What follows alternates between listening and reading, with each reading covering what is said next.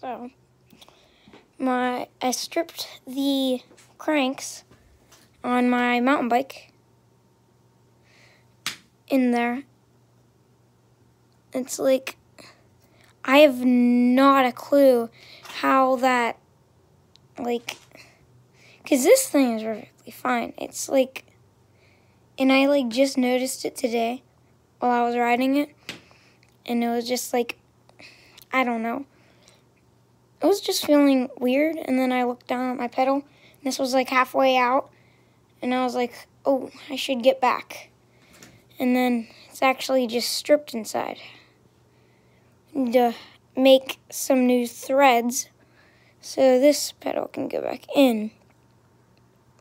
I might make a video on that tomorrow, but I can't ride it again today, which is just garbage. I wish this wasn't stripped. That's all.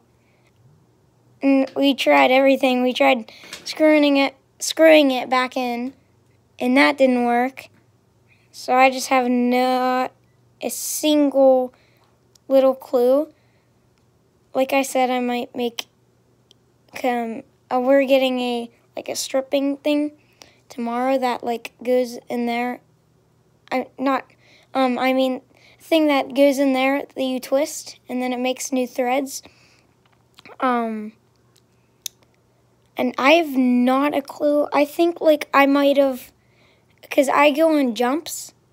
Like there's hills, and I go down jumps, and then I might have like landed on my pedals really hard, and it just, or um, it might have,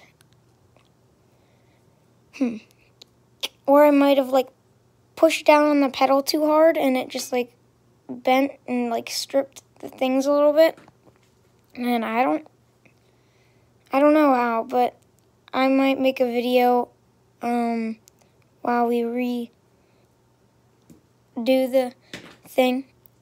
Um, I don't know. um,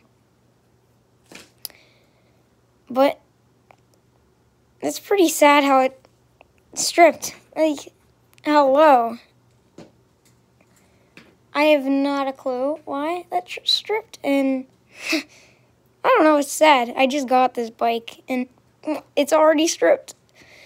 So, I do, like, I don't know what to do today now because it's stripped. How am I supposed to fix it? Poop.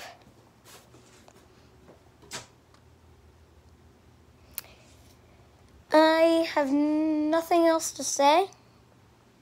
Although we got new furniture for my downstairs. I might make a video on that. But now let's just focus on that.